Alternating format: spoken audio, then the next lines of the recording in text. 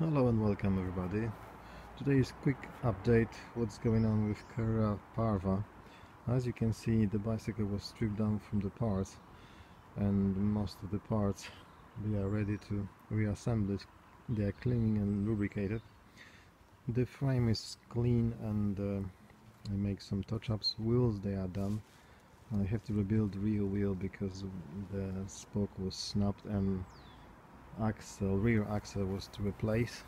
So it's different hub and um, yeah and uh, I replace one side of the wheel the spokes from the uh, freewheel side so because they were snapping. Um, the next step is gonna be um, open the headset and cleaning the bearings because they are pretty filthy. Um, repack them with new grease and building up.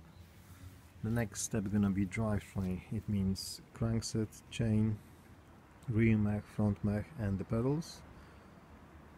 Another one gonna be handlebar, cockpit, brake levers, grips, saddle, front brake and adjustment.